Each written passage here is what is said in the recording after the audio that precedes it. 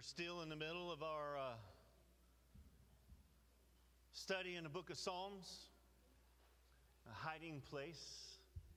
We've been talking about you needing you need to find that place where you can just unplug from the world and to go spend with God and get charged, recharged by Him.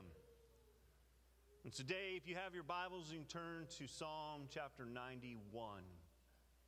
I think this psalm ties in with Easter so well. And here in a little bit, kiddos, I got something for you. You're going to have to come up here in just a little bit. So just be patient with me. I got something really fun. We'll read verses 1 through 2. Whoever dwells in the shelter of the Most High will rest in the shadow of the Almighty. I will say of the Lord, He is my refuge and my fortress, my God in whom I trust. Sister Betty, would you say a prayer for the word?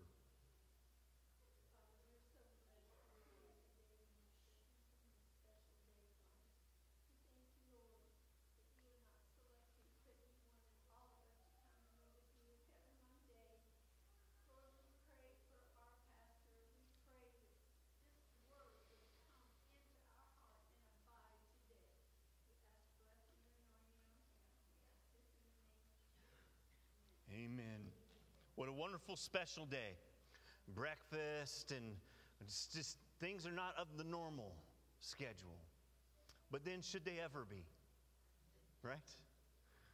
when we seek the Almighty, we are seeking an adventure like you've never known before. You seek the face of the Almighty. You experience love that you've never experienced before. It is not normal. And joy that you've never experienced before. It's not normal. There's nothing normal about God. And I think, though, everyone here in this room knows what it means to be afraid. Yes? Some of our fears are very trivial. Like my wife, Crystal, she fears spiders. She may not think that's very small or trivial.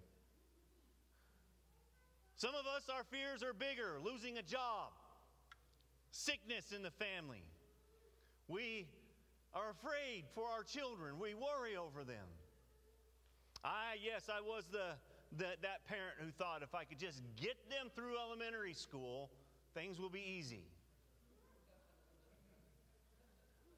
Then I was, if I can just get them through middle school.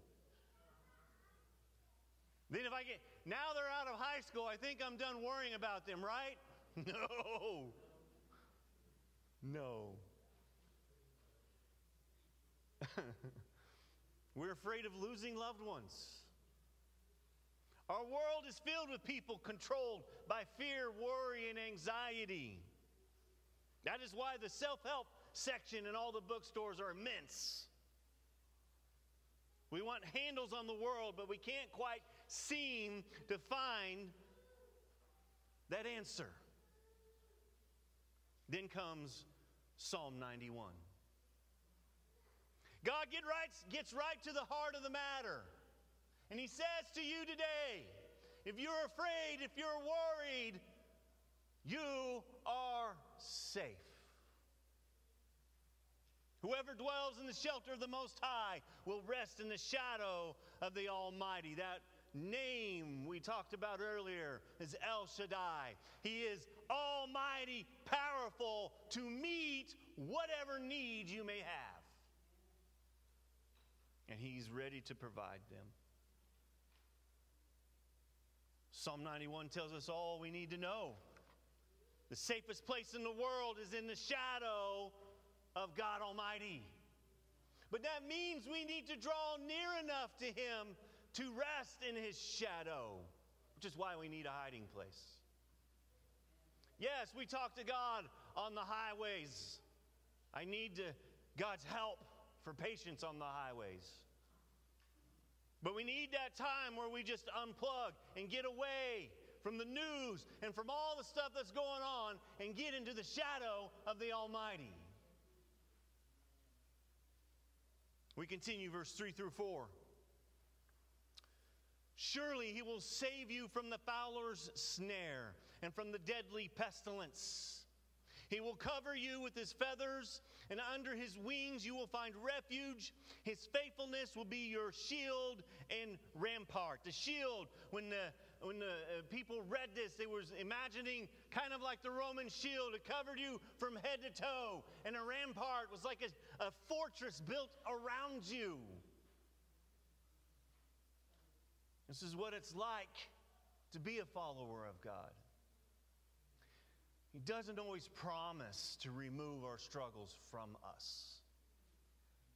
He rescues us many times in the middle of the struggles. That's what His Word promises us. Verse 5 through 6. You will not fear the terror of night, nor the arrow that flies by day nor the pestilence that stalks in the darkness, nor the plague that destroys at midnight. The writer decides to include a list of fears that really troubled him. Some of us are afraid of the night, darkness. We're afraid of sickness.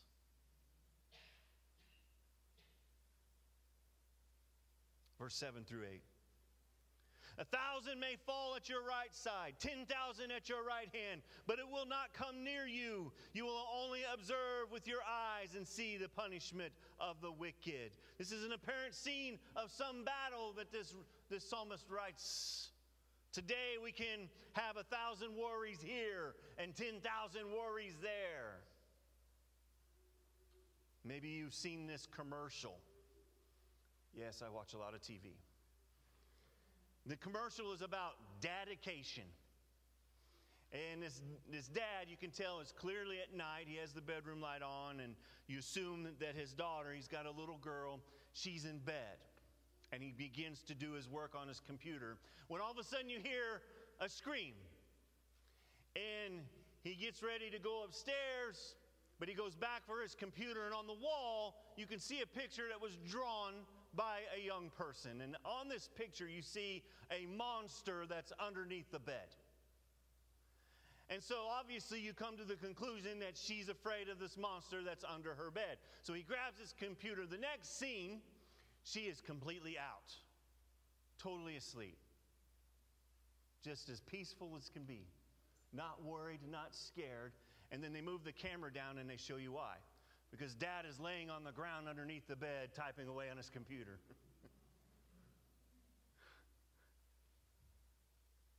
what happened? Her fear was sized up against her help. Her dad was bigger. Her dad was more comforting. Her dad brought peace to her, and then all of a sudden, her fear was not so great anymore because her dad was right there. She was able to sleep. This passage does not promise to remove all our trouble. This passage in Psalm chapter 91 does not belittle our fears either. But I would hope that it helps us to maybe size up our help compared to our struggles, our help compared to our worries and things that we're afraid of. Because we have a heavenly Father who speaks stars into existence. You can't tell me there is a trouble in your life that He can't handle. John 16 and 33, Jesus tells us I have told you these things so that in me you may have peace. In this world you will have trouble. That's a promise, right?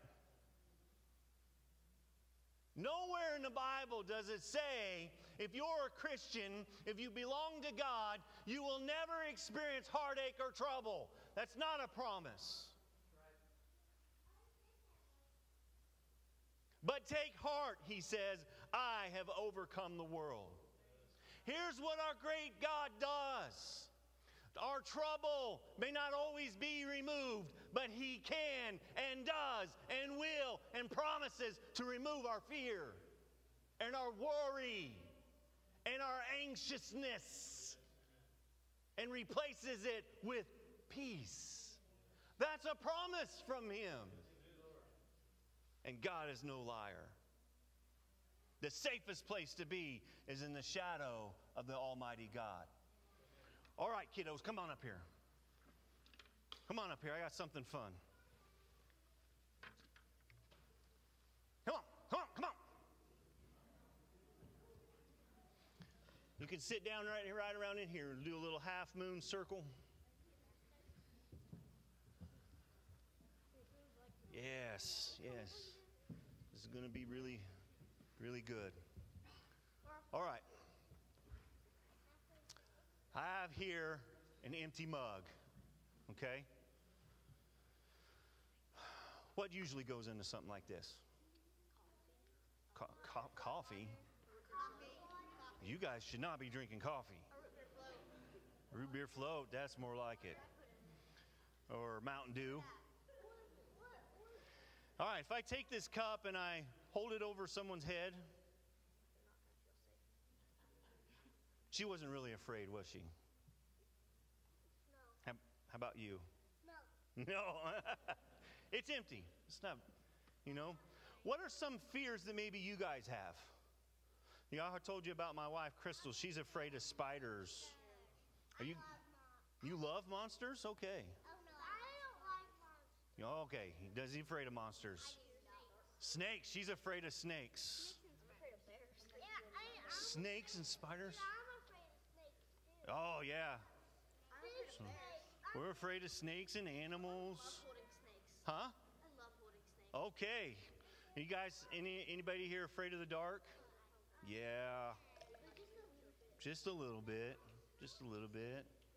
How, how many of you guys are afraid of tests at school? All right, we got one. How many are you afraid of getting a lot of homework? Oh my goodness, I need to go to your school.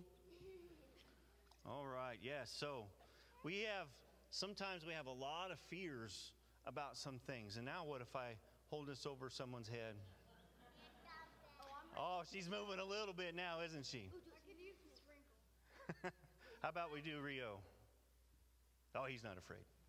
All right. I do need you guys to step back just a little bit because I did succeed with this multiple times, but I have had a failure.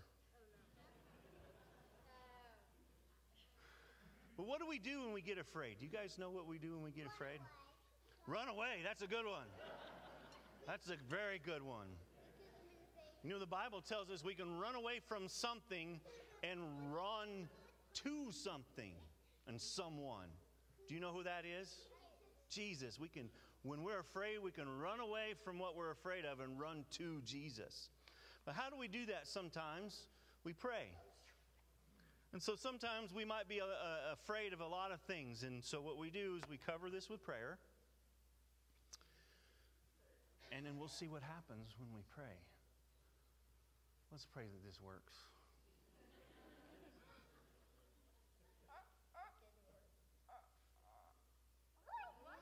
When we pray, when we pray, yes, when we pray, what we don't see sometimes, you can't see it in here. There's some air in here. And we have a helper that God has sent us. Does anybody know who that helper is? It's Jesus. But when Jesus left, he sent us a helper. It's the Holy Spirit. And the Holy Spirit is not someone that we see, just kind of like this air. What happens, and this is kind of science. I like science. I know we're not in school, but what happens is uh, all this air, when you flip it over, that air sucks the thing up to the, the, the cup and it keeps the water from pouring out. Well, we have a helper named the Holy Spirit. And when we pray to God, when we're afraid or when we're alone, we pray to God, and guess who helps us?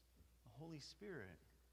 It reminds us how much He loves you, how much you don't need to be afraid. You know what the most common command in the Bible, Jesus said, and God said, Fear not. Don't be afraid. Don't be afraid. In his Bible, in, Math, in, in what we just read in, in um, John chapter 16, he says, Don't be afraid, be brave. Let's pray. Bow your heads. Father God, I pray that you will just let this lesson uh, just enter into their hearts and their mind, Lord. Because we know that they get afraid and we know that they feel lonely. And we just pray that you will let your spirit rest upon their hearts and their minds and that you would, in that moment, let them feel your presence, let them feel your love, and let them know, let this seed be planted in them as they get older, dear God. Let them know they're not alone. You are very near to them. Bless them, we thank you in your name. Amen. Okay, you guys can go back to your seats.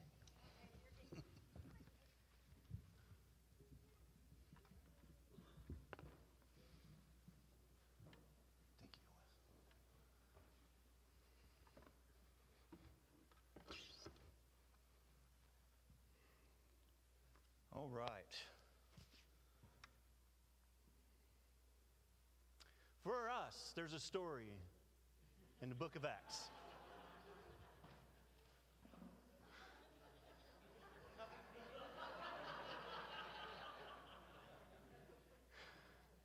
I was going to say, I didn't think that was that funny of a line.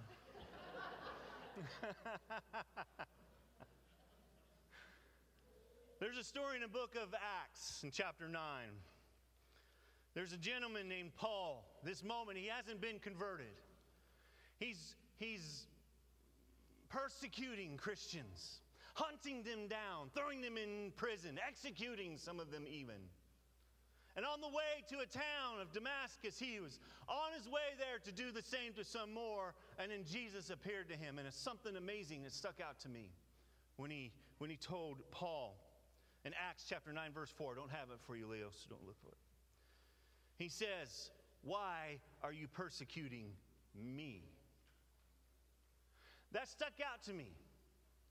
Because, see, Paul was throwing other people into jail, Paul was executing other people.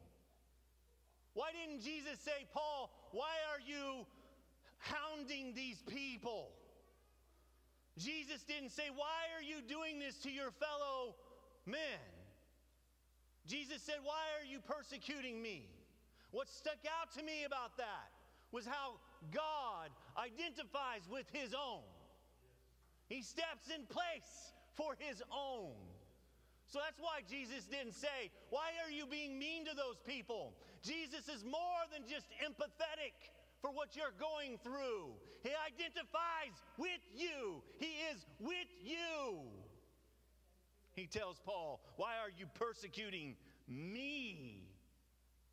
Are you joined to Jesus this way? Psalm 91 describes God's people as those who dwell or abide under God's protection. Psalm 14 through 16 really sums up today, Easter, for us. Are you ready to hear this? I hope you're ready to receive it. If you're someone right now who is struggling and, and you're worried and you're, and you're afraid and you're anxiousness, know this God does not belittle you for feeling those things.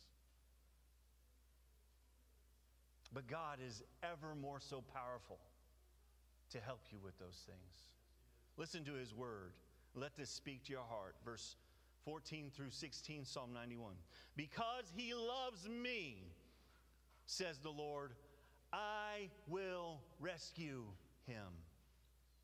I will protect him, for he acknowledges my name. He will call on me, and I will answer him. He, I will be with him in trouble. You notice he doesn't promise to remove it all the time. He goes farther than that. Even better than that, He promises to be with us. I will deliver him and honor him. With long life, I will satisfy him and show him my salvation. In light of John 3:16 and many other passages in the New Testament, will you put that up for us, Leo? Many of us know this, but this is a story of Easter. For God so loved the world that he gave his one and only Son, that whoever believes in him shall not perish but have eternal life. We can know more fully now that God's protection is experienced, but only by those who trust in Jesus. Jesus came to rescue us from our fiercest enemies death, hell, the judgment from a holy God. But also, He came to rescue us from fear and worry and anxieties. Jesus accomplished this by living the perfect sinless life, His sacrificial death as our substitute, and His triumphant resurrection. Praise the Lord. That should get us excited.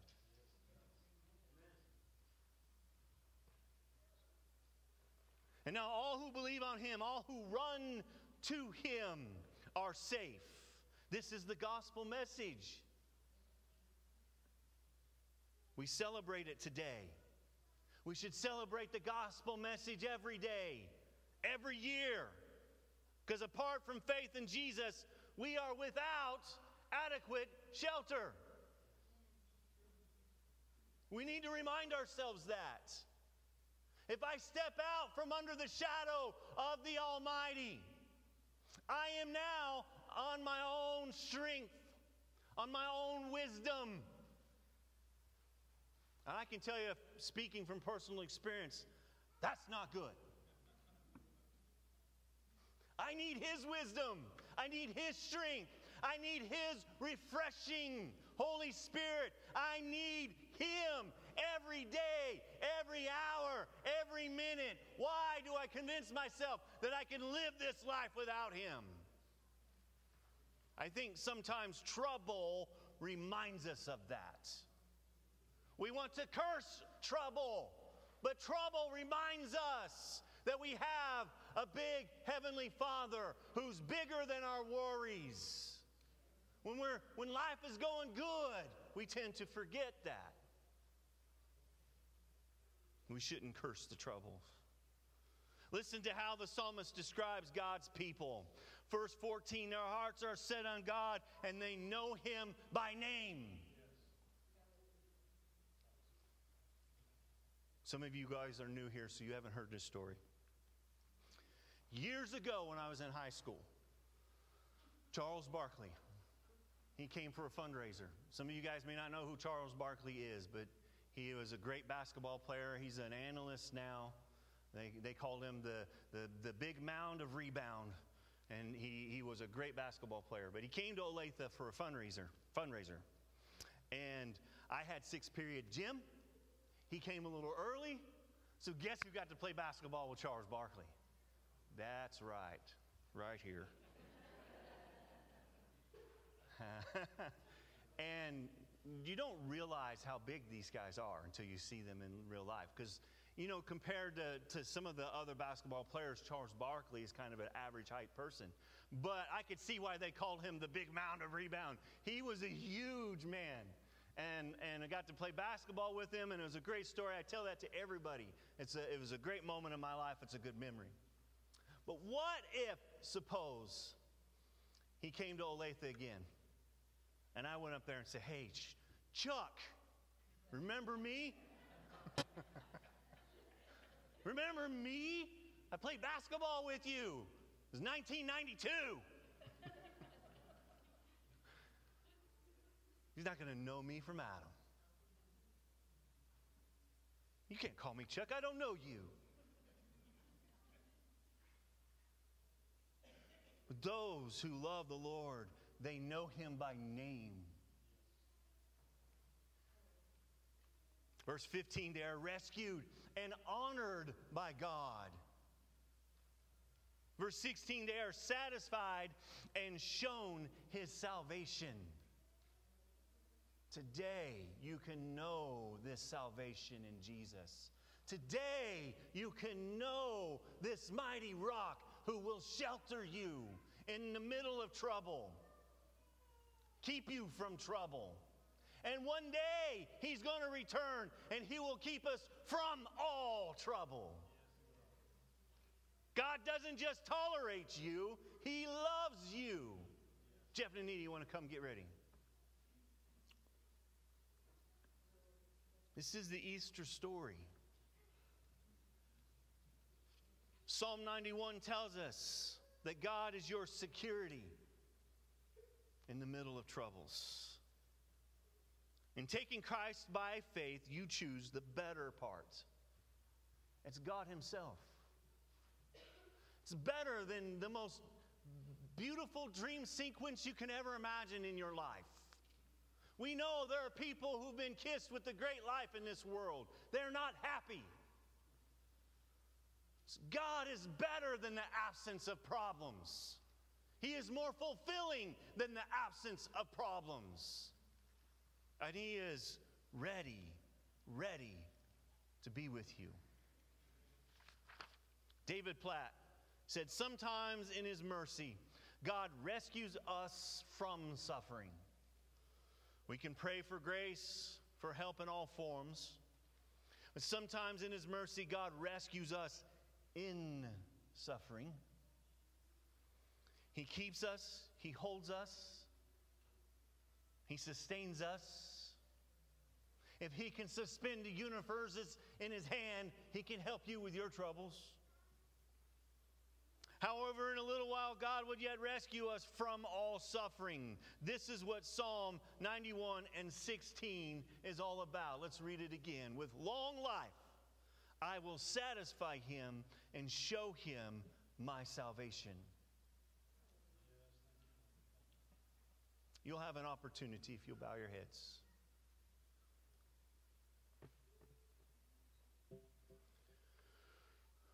We'll let the uh, Spirit speak to your heart. We'll have an opportunity to come up to the altar and you can discuss some, some things with the Lord. But if there's some fears and some worries and some anxieties that you've been carrying around, know this you don't have to carry those around anymore. Romans 3 24 through 25. After I read this, the altars will be open, and all are justified freely by his grace through the redemption that came by Christ Jesus. God presented Christ as a sacrifice of atonement through the shedding of his blood. To be received by faith, he did this to demonstrate his righteousness. Whatever the Spirit put on your heart today, please come discuss it with the Lord. The altars are open. Let's pray. About your worries. Right now, imagine them. Let them come to your, your head. Now think of God. Your shelter, your shield, your protector. Which is bigger? Our fears don't have the last word. Death does not have the last word. Thank you to Jesus who rose from the grave, who died for my sins, rose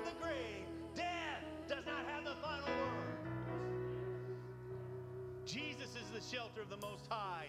Jesus has conquered death, and Jesus will never leave you.